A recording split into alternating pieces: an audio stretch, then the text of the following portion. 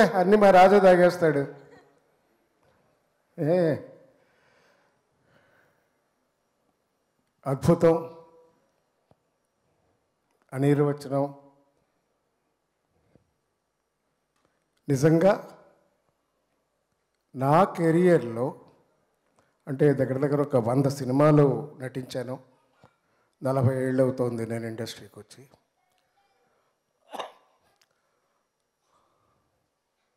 లెక్క పెడితే ఒక పది సినిమాలు ఉంటాయి. ఒక అంతులేని కదా ఫస్ట్ నా సినిమా నేను చెప్పుకోవాలి కదా. ఒక లేడీస్ టైలర్ మధ్యలో మంచి మళ్ళీ మా మంచి మంచి సినిమా ఒకటి చేసాను ఒక మంచు పల్లకి. ఇలా చెప్పుకుంటూ పోతే ఒక పది సినిమాల లిస్టులు ఉంటాయండి. ఫస్ట్ కాపీ చూసిన రోజున ఈ సినిమాలో నేను నటించానా? అసలు ఇది సినిమానా అనిపించిన సినిమా? తోలు బొమ్మలాట. ఖచ్చితంగా ఎవరడిస్తారండి మనందరినీ? ఎవరడిస్తారు? పైన ఎవరో ఉన్నాడు కదా ఒక ఆయన? ఆయన ఆడించిన బొమ్మలమే మనం అందరం మనం అందరం తోలు బొమ్మలమే. వీళ్ళని ఆడించేది ఒక వ్యక్తి ఆ దేవుడు. ఆ దేవుడు ఏమిచ్చి పంపించాడో కానీ విశ్వనాథ్ అనే కుర్రాడిని ఇక్కడికి నాకు తెలియదండి ఏమిచ్చాడా? ఎక్స్ట్రా చిప్పేమన్నా పెట్టి పంపించాడు నీకు బ్రెయిన్లో? ఎలా ఆడించావు ఇంతమందిని? గ్రేట్. A great director. అందరిని ఆడించాడు. అందరిని మెప్పిస్తున్నాడు. నాకు ఎంత గట్టి నమ్మకం అంటే ఈ సినిమా. పెద్ద పెద్ద డిస్ట్రిబ్యూటర్లు పెద్ద పెద్ద థియేటర్లు లేకపోయినా కూడా ఒక శంకరాభరణానికి అదే జరిగింది ఆ రోజున. డిస్ట్రిబ్యూటర్ అనేవాడు లేడు. రిలీజ్ చేయడానికి ఎప్పుడూ లేడు. ఎంతమంది చూపించినా చూసి బాగుందని వెళ్ళిపోయారు కానీ ఎవ్వడు దగ్గరకు రాలేదు కొనడానికి. ఒక్క లింగమూర్తి గారిని ఉండేవారు లక్ష్మీ ఫిలిమ్స్లో. ఆయన ధైర్యం చేసి ఈ సినిమా నేను రిలీజ్ చేస్తానన్నాడు అందరు పిచ్చి పట్టిందా నీకేమైనా అన్నారు. పర్లేదు ఆయన టేకప్ చేసి ఆయన సొంత రిస్క్ మీద ఆయన యాక్చువల్గా ఓనర్ కాదు లక్ష్మీ ఫిలిమ్స్కి. బట్ ఆయన రిస్క్ చేసి అప్సరా థియేటర్లో సినిమా రిలీజ్ చేశాడు. అది ఎంత ఆడిందో ఎలా ఆడిందో మీ అందరికీ తెలుసు. ఇందాక దుర్గాప్రసాద్ గారు ఒక మాట అన్నారు నాతో. సార్ ఇలాంటి సినిమాకి పబ్లిసిటీ చాలా అవసరం కదా సార్ ఏంటన్నారు? మౌత్ టాక్ వస్తుంది సార్ అన్నాడు. Hats off to your confidence Durgaprasad గారు. Mouth talk. ఈ సినిమాను నిలబెట్టబోయేది మౌత్ టాక్. దీనికి ఒక హెల్ప్ అవసరం లేదు. ఈ సినిమా సూపర్ సక్సెస్ అవుతుందని మనస్ఫూర్తిగా కోరుకుంటూ సెలవు తీసుకుంటున్నాను. ఎంతగానో ఎదురు చూస్తున్న twenty second November twenty second Tholubommalata release date వచ్చేసింది. చాలా సంతోషంగా ఉంది. అండ్ అందరూ అంటే ఎంత మంచి సినిమా ఎంత చాలా మంచి సినిమా. చాలా మంచి సినిమా చేసిన వాళ్ళు అందరూ ఫీల్ అవుతున్నాం. డైరెక్టర్ గారు ఆర్టిస్ట్లో ఈవెన్ టెక్నీషియన్స్ అందరం. ఇప్పుడు ప్రేక్షకులుగా మీ రెస్పాన్సిబిలిటీ వచ్చిందండి. ఎందుకంటే మనం జనరల్గా అనుకుంటూ ఉంటాం. ఒక మంచి సినిమా రావాలి. తెలుగు వాళ్ళకి ఎంకరేజ్మెంట్ కావాలి. తెలుగు హీరోయిన్స్ రావాలి. మంచి ప్రొడ్యూసర్స్ రావాలి. మంచి డైరెక్టర్స్ మంచి మంచి అని మాట్లాడుతూ ఉంటాం. ఆ మంచి అనే దానికి నిర్వచనంగా మా డైరెక్టర్ గారు మా ప్రొడ్యూసర్ గారు మా రాజేంద్ర ప్రసాద్ గారు మా నాన్నగారు ఆర్టిస్టులు అందరం కష్టపడి ఒక మంచి సినిమాని అని ధైర్యంగా చెప్పగలుగుతున్నాను. అట్ ద సేమ్ టైం అంతే ఎంటర్టైన్మెంట్ కూడా ఉంటుంది. మీరందరూ ఎంజాయ్ ఎంజాయ్ చేస్తారు. అందరికీ నమస్కారం అండి. నేను మా గురువు గారు కోటి రామకృష్ణ గారి దగ్గర అసిస్టెంట్గా పనిచేసేటప్పుడు పాటలు రాయించుకోవడానికి వేటూరు సుందరరామూర్తి గారి దగ్గరికి రెగ్యులర్గా వెళ్తూ ఉండేవాళ్ళం. ఆయన ఒక సందర్భంలో నాకు ఒక మాట చెప్పారండి. నీకంటే ముందు పుట్టిన వాళ్ళు గొప్పవాళ్ళు ప్రతిభావంతులు. వాళ్ళతో కలిసే అవకాశం నీకు ఎప్పుడు వచ్చినా మిస్ చేసుకోవద్దు. వీలుంటే వాళ్ళతో మాట్లాడు. ఒకవేళ మాట్లాడే అవకాశం రాకపోతే వాళ్ళని దూరంగా అయినా సరే పక్క నుండి చూస్తూ ఉండు. వాళ్ళ మాటలు వింటూ ఉండు. నేను అలా గొప్పవాళ్ళని గొప్పవాళ్ళు మాట్లాడుకునే మాటలు వింటూ నేను నేర్చుకున్నాను గతమంతా శృతం నాది ప్రస్తుతానికి అది పునాది అని చెప్పారు ఆయన. ఎందుకంటే ఒక మంచి సువాసన వచ్చే తోటలోకి వెళ్తే దానిలోంచి మనం బయటకు వచ్చినప్పుడు మనకు తెలియకుండానే మన బట్టలకు కూడా ఒక సువాసన అంటుకొని మనం బయటకు వస్తాము అని అప్పుడెప్పుడో వేటూరు సుందరరామూర్తి గారు నాకు చెప్పారు. అలా ఈ సందర్భంగా ఈ తోలుబొమ్మలాట సినిమాలో అలాంటి ప్రతిభావంతులు అలాంటి legendary actors legendary actor Natakireeti Rajendra Prasad గారితో దూరంగా ఉండడం కాదు దగ్గరగా ఉండి మాట్లాడే అవకాశం ఆయనతో కలిసి యాక్ట్ చేసే అవుతూ ఉంటే వాళ్ళ దగ్గర నుంచి ఎంతో కొంతైనా నేను నేర్చుకున్నాను ఈ సినిమాకి అని నాకు అనిపించిందండి. ఆయనతో కలిసి పనిచేసే అదృష్టం నాకు వచ్చినందుకు నిజంగా నా జన్మ ధన్యమండి సార్ మీరు పిలిచిన ప్రతిసారి కలిసి నన్ను అరే బాగా చేసుకో బాగా చేయి వర్క్ అని దీవిస్తున్నారు. Thank you sir. మిమ్మల్ని చూస్తూ పెరిగాం. మీతో పని చేసే చేయడం మా అదృష్టం sir. Thank you so much. And Tholubommalata cinema ఇందాకలా దేవి గారు అన్నట్టు సినిమాకి డైరెక్టర్కి సంబంధం ఉండదండి. మీరే అన్నారు అనుకుంటా. సినిమాకి డైరెక్టర్కి సంబంధం ఉండదు. ఆయన ఎంత యంగ్ అంటే ఒక ట్వంటీ నైన్ ట్వంటీ ఎయిట్ అట్లా ఉంటాడు. ఆయన ఇంత అద్భుతమైన సినిమా చేస్తాడని ఎవరు అనుకోరు వాడు ఇప్పుడు వస్తారు కదా స్టేజ్ ఎక్కుతారు చూడండి. ఎవరు అనుకోరు. బట్ ఆయనకు ఆ థాట్ రావడం నిజంగా సూపర్ సార్ విశ్వ గారు. ఆ సినిమా అనుకోగానే నీది నాది ఒకే కథ. మూవీ చూసి బ్యాక్గ్రౌండ్ స్కోర్ బాగుంది. ఈ సినిమాకి ఈయనైతే వర్కౌట్ అవుతాడని నన్ను నా దగ్గరకు వచ్చి కలిసి మీరే చేయాలి సార్ కంపల్సరీ అని ఈ ఈ సినిమాలో ఒక భాగంగా నన్ను చేసినందుకు థ్యాంక్ యూ సార్. మనస్ఫూర్తిగా ధన్యవాదాలు మీకు. అండ్ ఈ సినిమాలో అందరూ బాగా చేశారండి. ఈ సినిమా అవకాశం రావడానికి ఒక కారణం ప్రొడ్యూసర్ గారు కూడా. సార్ థ్యాంక్ యూ సార్ నన్ను బిలీవ్ చేసినందుకు. అండ్ ఈ సినిమా చాలా అద్భుతంగా ఉందండి సినిమా నేను చూశాను. నేను చూస్తూనే క్లైమాక్స్ చూసి చాలాసార్లు ఏడ్చాను. అందరికీ నమస్కారం. వేదిక ముందు కూర్చున్న పెద్దలకి మిత్రులకి ఈ కార్యక్రమానికి విచ్చేసిన ప్రేక్షక మహాశైలకు ఈ కార్యక్రమాన్ని టీవీలో చూస్తూ చూస్తున్న రేపటి మా న్యాయ నిర్ణేతలు ప్రేక్షకులందరికీ కూడా నమస్కారం. తోలుబొమ్మలాట సినిమా నాకు చాలా చాలా ప్రత్యేకమైంది. ఎందుకంటే ఆ నలుగురు సినిమా తర్వాత మళ్ళీ మా అన్నయ్య రాజేంద్ర ప్రసాద్ గారితో కలిసి పనిచేసే అవకాశం పదిహేనేళ్ళకు తోలుబొమ్మలాట సినిమా నాకు ఇచ్చింది.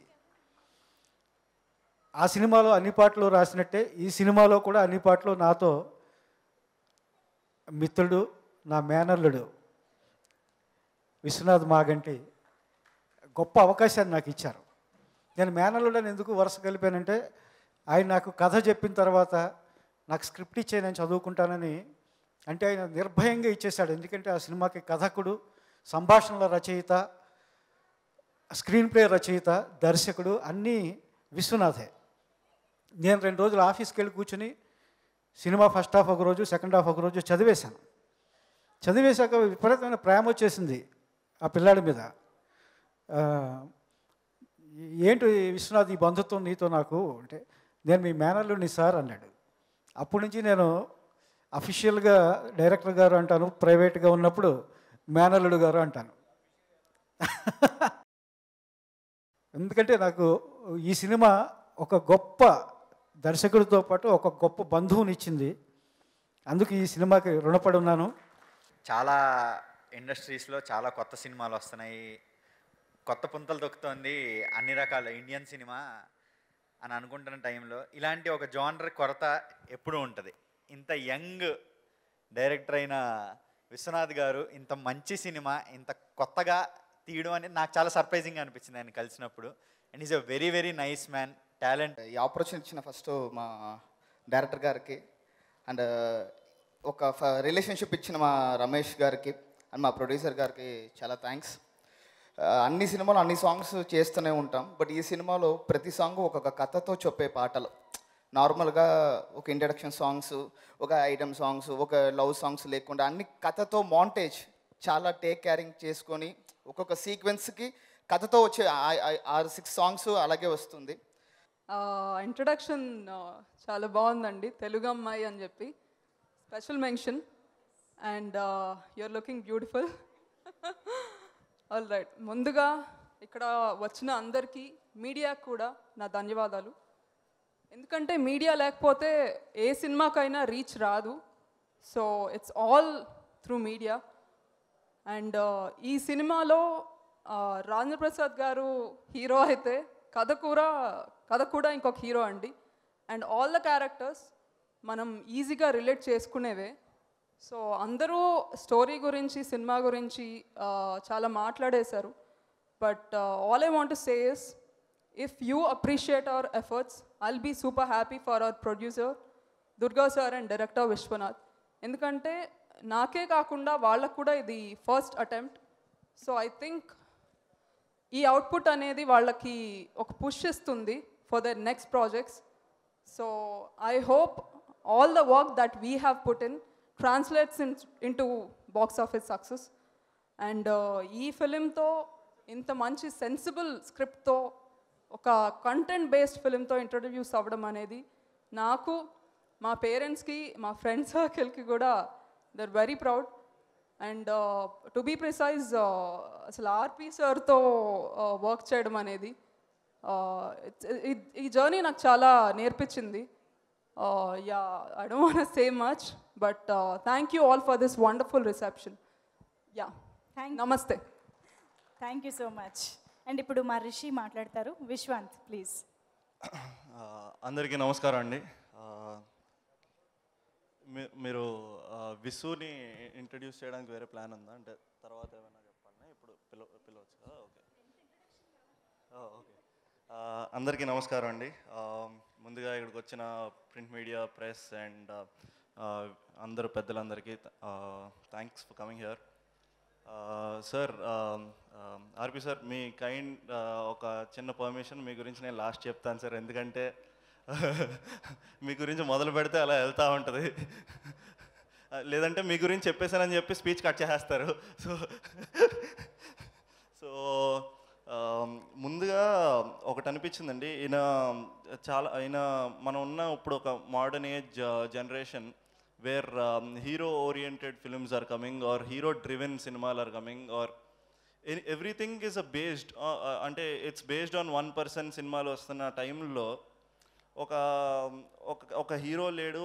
ఈ సినిమాలో ఇందాక నుంచి చాలామంది అడుగుతున్నారు no one is a hero in this film no no no one is a heroine or anything ఎందుకంటే ఈ సినిమాలో ఉన్న ప్రతి ప్రతి మని ఉన్న ప్రతి మనిషి ఒక క్యారెక్టర్ అంతే. ఆ క్యారెక్టర్ని if you're not showing there మనం ఫెయిల్ అయిపోయాం.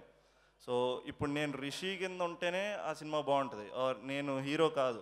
ఆర్పి గారు. ఆర్పి గారు మా సోడల్ రాజు గారు లేదా మా తాతయ్య గారు అలా ఉంటేనే ఆ సినిమా మనం నెగ్గాం. లేదు ఇక్కడ ఎవరైనా మనం హీరో అనుకుని ఈ సినిమా వచ్చింది అంటే కనుక we failed we we didn't do whatever we want so at a time like this we wanted ఒక స్టోరీ బేస్డ్ సినిమా అంటే ఇది.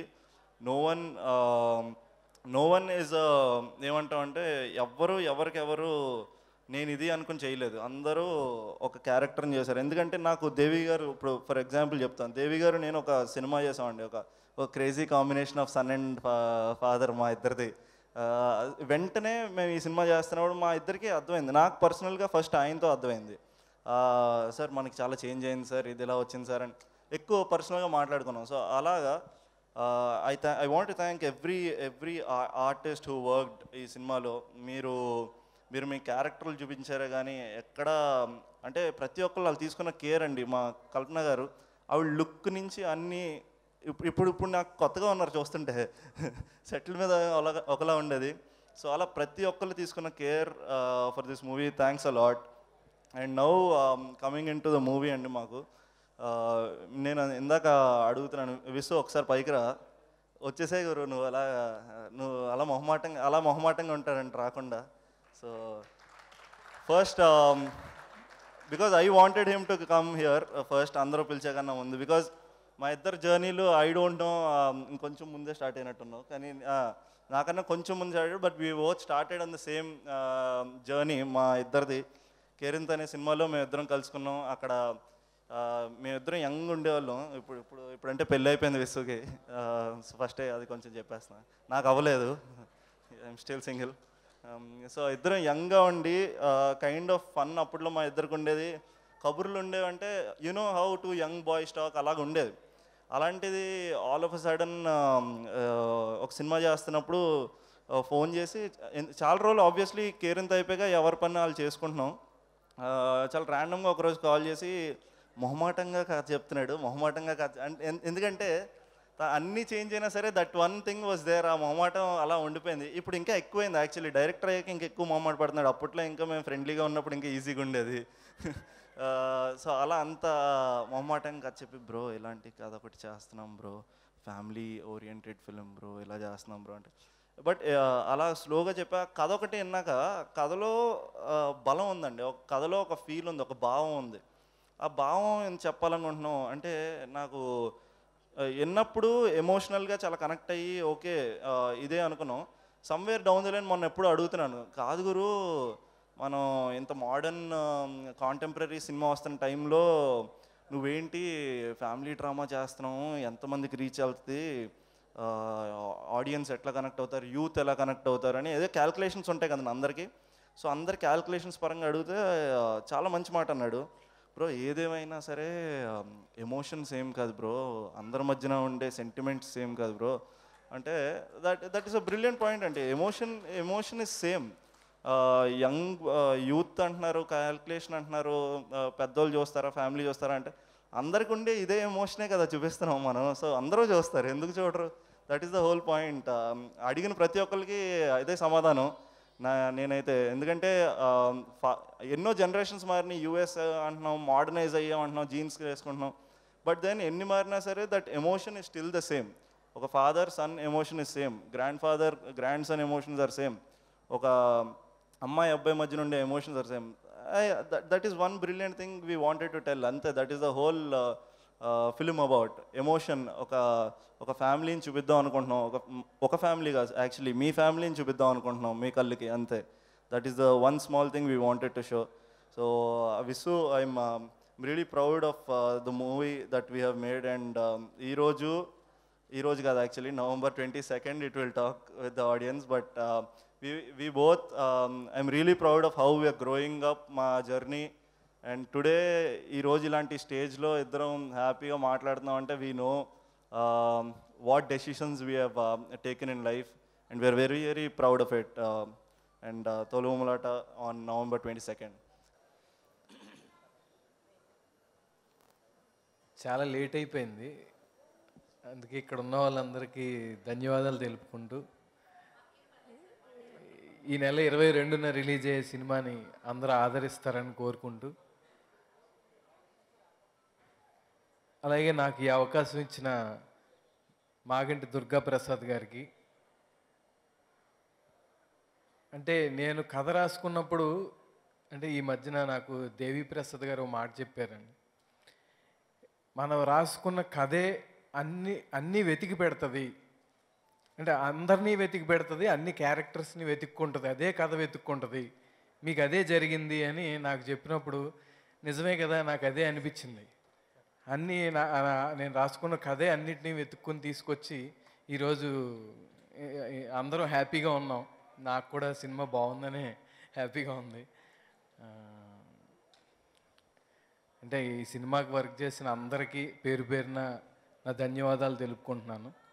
అలాగే ఫస్ట్ ఈ కథని అంటే ఫ్యామిలీ డ్రామానే నేను ఫస్ట్ తీసుకోవడానికి కారణం.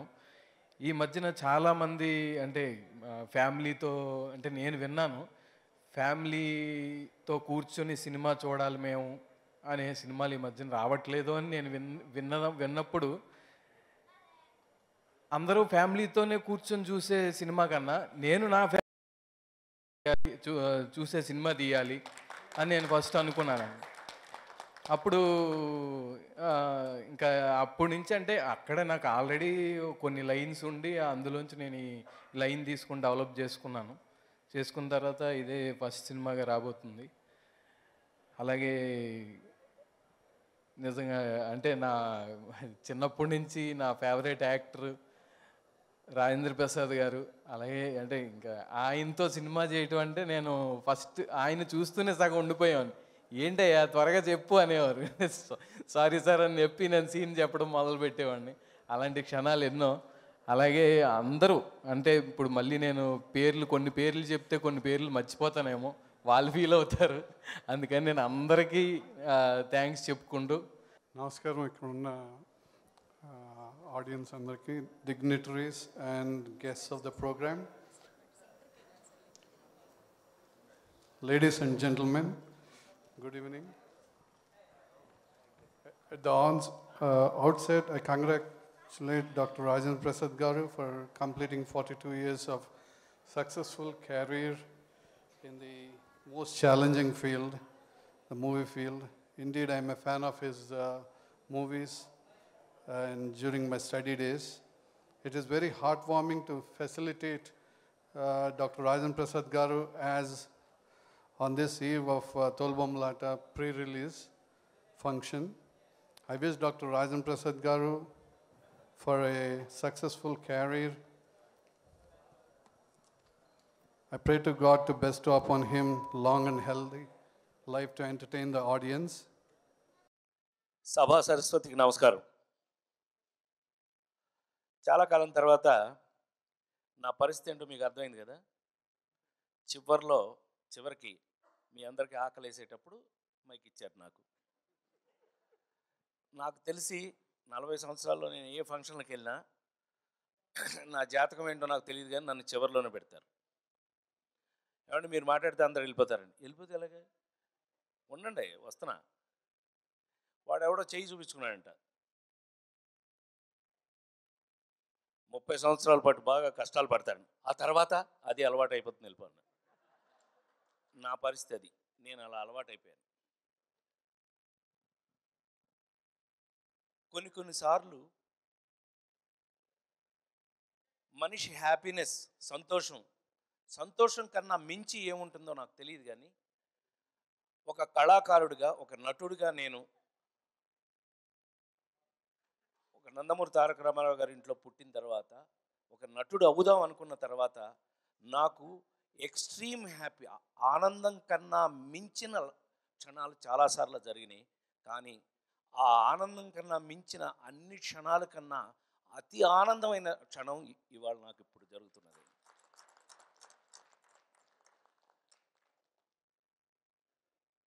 తోలుబొమ్మలాట ఏమండి ఒక ఆ నలుగురు ఒక మీ శ్రీభిలాషి ఓ బేబీ. అక్కడ దాకా అన్ని వెరైటీలు రాస్తే ఎప్పుడన్నా మా ఆవిడ నాతో అంటూ ఉంటుంది. ఒక ఒక సినిమా బాగుంది అని తనకి ఎవరైనా చెప్పినా తను చూసి ఇది నిజంగానే బాగుంది అని నన్ను ఎప్రిషియేట్ చేసిన దేవుడు మీకు ఎంత అవకాశం ఇచ్చాడండి. ఇంకేముంటుంది ఇంతకంటే అంది. ఇంతకంటే ఇంకేముంటుంది? ఇంతకంటే ఇంకేముంటుంది అని అన్నట్టయితే తోలుబొమ్మలాట సినిమా నాకు రాదు.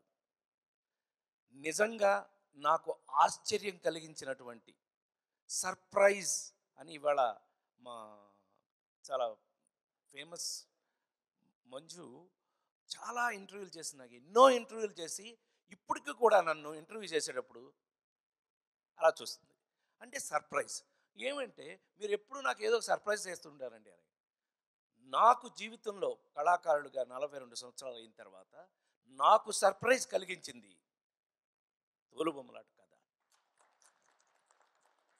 అంటే ఎందుకు మీకు అట్లా సర్ప్రైజ్ అంటే ఒక కళాకారుడికి జీవితంలో నాకు తెలిసి ఒక ఒక ప్రొఫెషన్లో ఒక అద్భుతమైన సినిమా ఉండిపోతే అది చాలు అనుకునే పరిస్థితుల్లో నాకు మనిషి జీవితంలో రెండు ముఖ్యమైన విషయాలు ఒకటి పెళ్ళి రెండు చావు.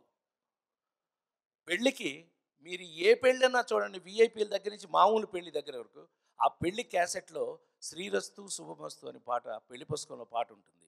అది అదృష్టం. మళ్ళీ అందరం అందరూ వెళ్ళ వచ్చిన వాళ్ళు వెళ్ళక తప్పదని మా చైతన్య ప్రసాద్ లాంటి వాళ్ళు రాస్తూ ఉంటారు ఇప్పుడు మళ్ళీ ఎవరైనా వెళ్ళిపోతే భగవద్గీత తీసేసి ఒక్కడై పుట్టడం ఒక్కడై పోవడం తనే రాశాడు. తనే రాశాడు. కానీ ఎంత ఆశ్చర్యంగా ఉంటుందంటే అది ఒక కళాకారుడికి ఎంత అదృష్టమని అంతకు మించి ఇంకేముంటుంది? అక్కడే అంతకు మించి ఇంకేముంటుంది అనుకునే నాబోటాడికి అక్కడ ఆగదు బండి.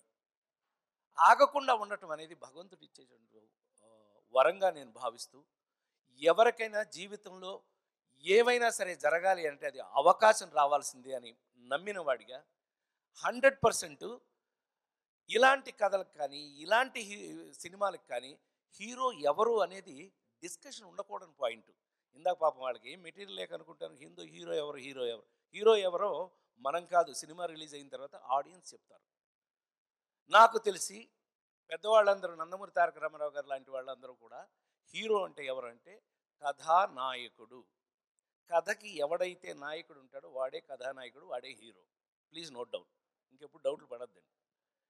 ఆ కథలో ఎవరు ఆ కథకి ఎవడు నాయకుడైతే వాడే. సో అందుకని హీరో ఏడి హీరో గారి? హీరో గారు వెనకాల ఉండకూడదు. హీరో గారు ఎప్పుడు ముందు ఉండాలి సో హండ్రెడ్ పర్సెంట్ ఆ నలుగురిలో నేను హీరో కాదు. ఆనంద్ అనేవాడు హీరో. ఆ, తోల్బామ్లాట్ సినిమాలో నేను హీరోని కాదు. మా మా హీరో మా హర మా మా హీరో అతను. సో ఏది ఏమైనప్పటికీ ఇలాంటి ఒక అద్భుతమైన సినిమా చేసినప్పుడు నిజంగా అది చూసేది ఇరవై రెండు తర్వాత మీరు. చూడడానికి ముందే మేమందరం అదృష్టవంతులుగా ఫీల్ అయ్యి అద్భుతంగా పనిచేసినటువంటి ఈ సినిమాలో పేరు పేరున సమయాభావం వల్ల ఎక్కువ మంది చెప్పలేకపోతున్నాం కానీ ఈ సినిమాకి పని పని చేసిన ప్రతి ఒక్కరూ కూడా ఫస్ట్ టైము అద్భుతంగా ఇవాళ చాలా అద్భుతంగా ఇంత అంటే ఈ ఈ ఈవెంట్ చేసిన వాళ్ళకి కంగ్రాచులేషన్స్ ఫర్ దెమ్.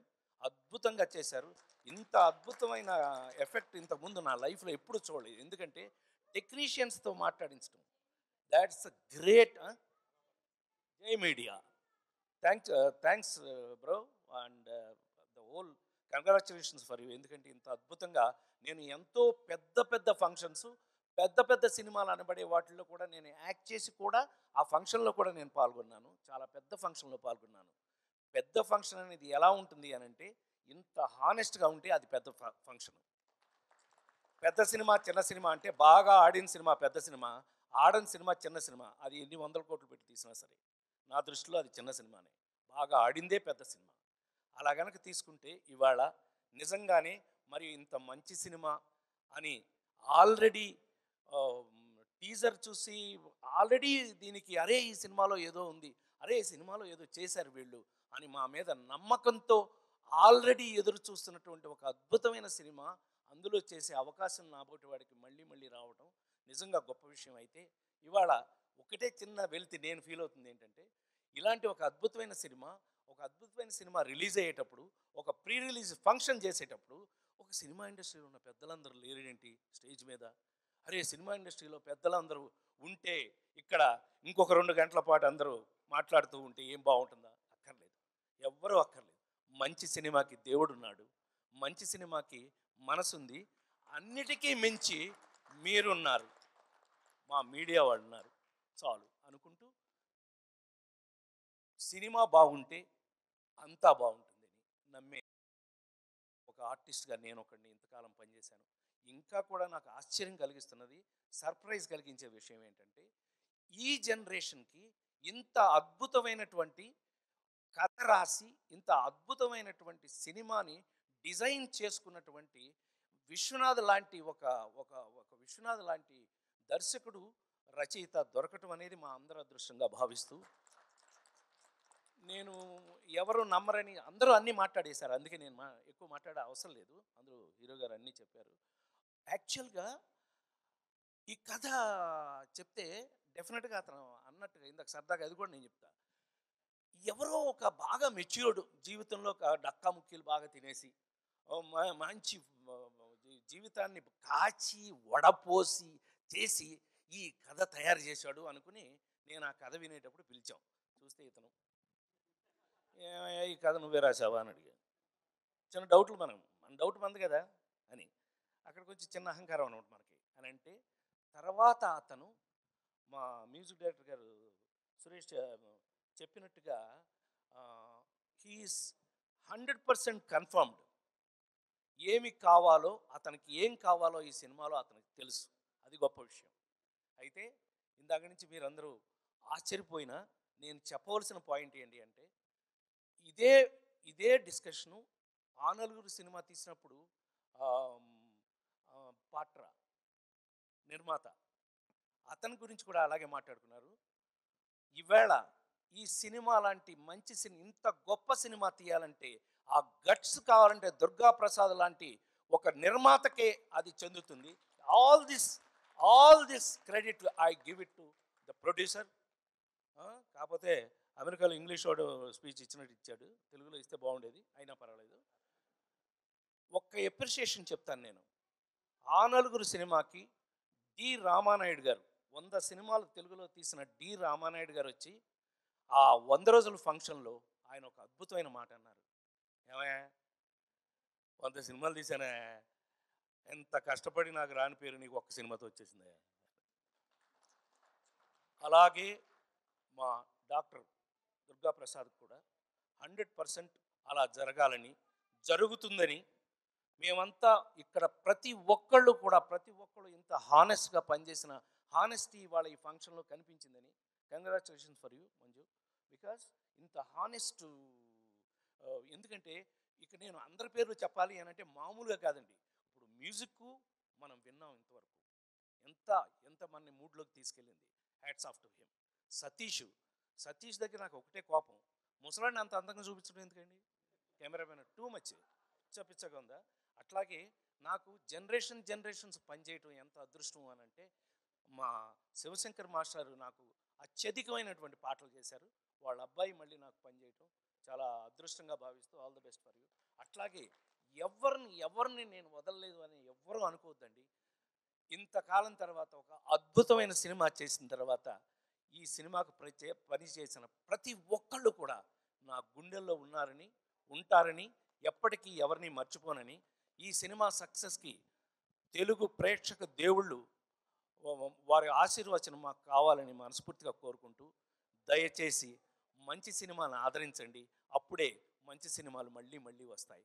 ప్లీజ్ దయచేసి ఈ యూనిట్ని అందరినీ ఆశీర్వదించండి. ఈ సినిమా మీకు నచ్చితే తప్పకుండా మిగతా వాళ్ళని కూడా తీసుకెళ్ళి సినిమా చూపించండి.